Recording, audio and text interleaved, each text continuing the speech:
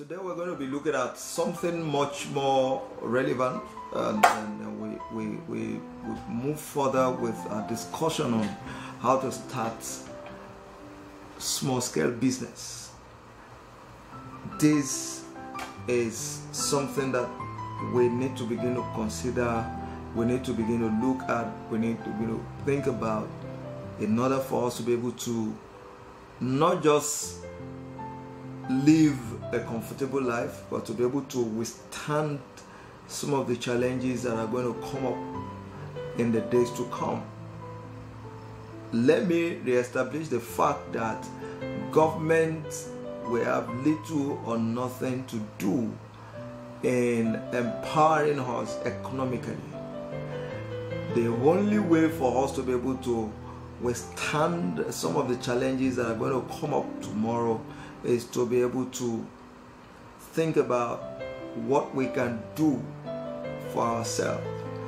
What kind of business can I start on my own and then generate something from it? How do I start the business? What do I need to do? What do I need to put together? And then these are the things we're going to be going through.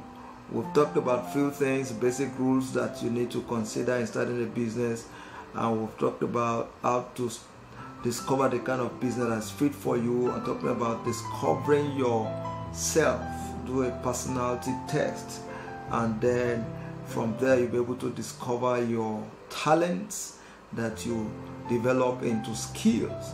And then today we're going to be looking at something important again, which is discovering your passion and your love for the kind of business that you think you want to do.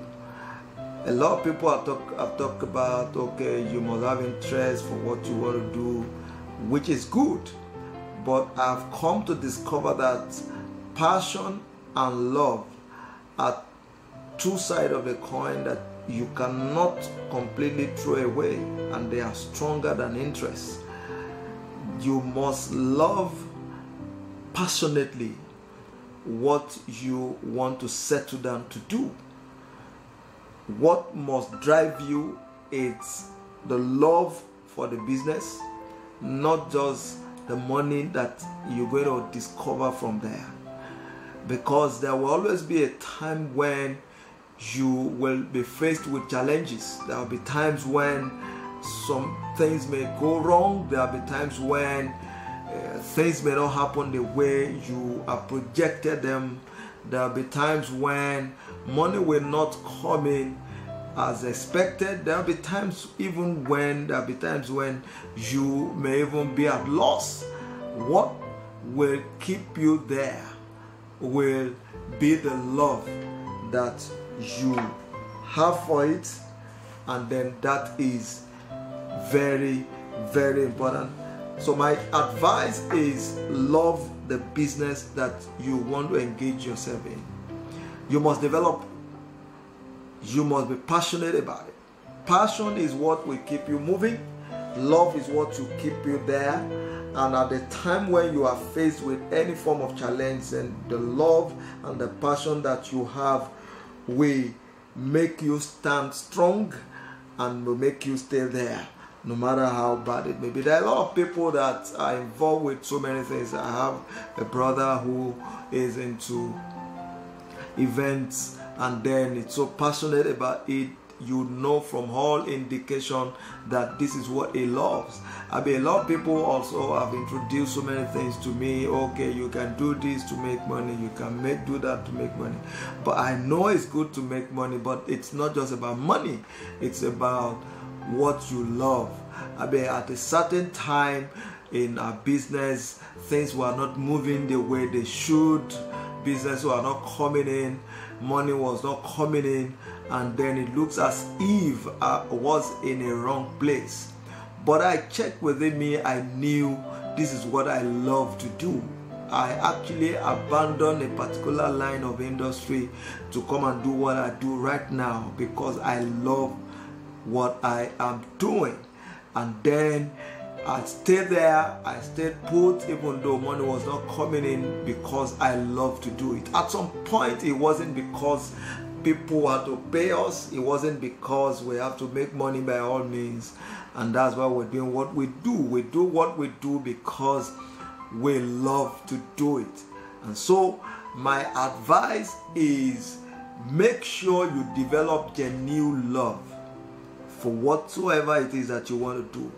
Make sure you develop genuine passion for whatever it is that you want to do. You want to go into fashion design business, you need to make sure you love it. Don't just do it because people are doing it, do it because you also love it. The time when money will not be coming, the time when business will not come as projected, you will still be able to stay there. You know why people move from one place to the other? They do this business today, and then tomorrow they do another business, and next tomorrow you see them doing another business. It's because they in the beginning had no love or passion for that kind of business. And let me say this there is no business you want to engage yourself in that you will not get to the point that you're going to face your own trial moments. Times when it will look as if you made a mistake for doing that kind of business. Times when you will ask yourself who sent you to do this kind of business. And then you will discover that the only thing that will keep you there are these two things the love and the passion that you have for this business. This is very critical and very important. Let me take it up from there. I'm talking about beyond discovering your gifts, beyond discovering your talents. There's some other things that we have to also talk about, which is beyond talents. What else do you do? Being passionate discovering your, your, your line of business, being passionate mm. about it, and then discovering your talents and all those things. And what do you need to do when you have discovered your talent? You're passionate about it, you love it, and what do you need to do is to take it a little step further. Now, I'm talking about how to turn your talent into a skill. This is important. How do I turn my talent into a skill. I have discovered my talent. Now I know what God has gifted me with. How do I make money from Him? Number one is to do what I call constant practice. You love music, you love to sing. Now, this is what you know God has gifted you with. You don't struggle to do it, it's there, and you are now aware of it you love to, to cook and then you do it naturally. And then when you cook everybody who tastes the food make good comments. This is a gift. Now it is not everybody that actually have these gifts. It is not everybody that have these gifts to cook good food that everybody enjoys but you know without being told what to do you know what and what to have together to deliver good meal. And everybody loves it. Now this is what you know god has gifted you with. And now how do you move from there to begin to convert it to something that people need to pay you for?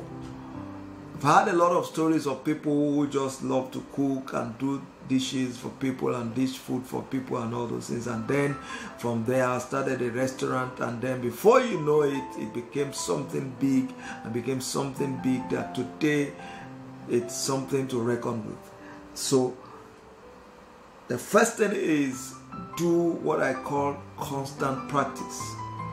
You do it consistently, you do it continuously until it becomes something that you master you love to sing and you continue to sing to yourself, sing in the house, sing to a group of people continuously. Practice, they say, makes perfect.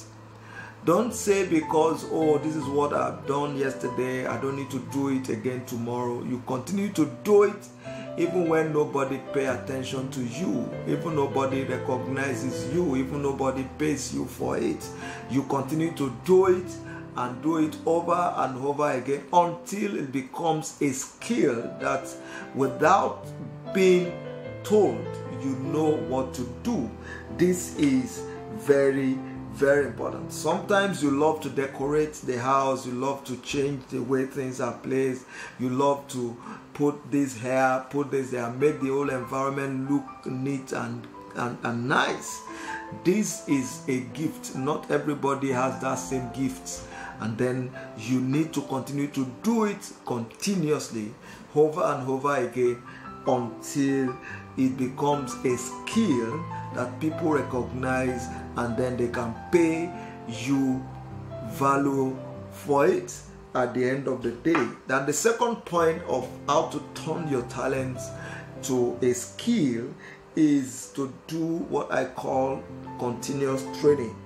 And training comes in different forms. You can get books to train yourself. You can also attend programs, training where people who are skillful in that line of you know business already doing something and a call for training that you you need to attend that kind of training to be able to understand how things are done in that regard so look around for people who are doing the same doing the same thing and then and that relates to your talents and about to serve them and then work with them submit to them and then without thinking of the money you are going to get from there.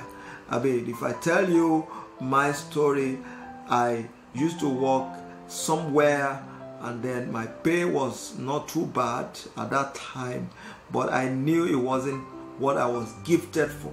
I was not called to do it.